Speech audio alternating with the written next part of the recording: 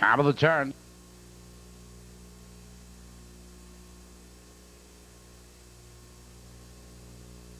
Here they come.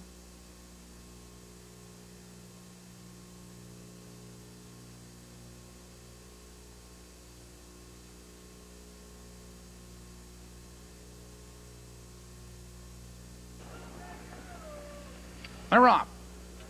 Linwood chance for the lead. There goes Bailey's Original and Cerrone Lobel. Those three in a battle for the lead.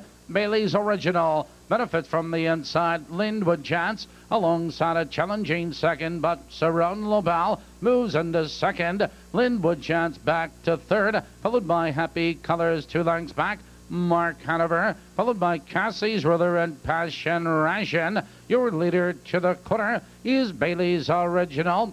Or by the quarter, 28 and 4, Bailey's Original leads a length and a quarter. Cerrone Lobel, he's right there, second a length. Linwood Chance, right there in third. Happy Colors, first over on the outside. Mark Hanover moving up with cover. It's Cassie's Ruther Passion Ration. They're heading for the half mile marker and Bailey's Original sets the pace, but Happy Colors moving second on the outside. It's Cerrone Lobel, followed by Mark Hanover.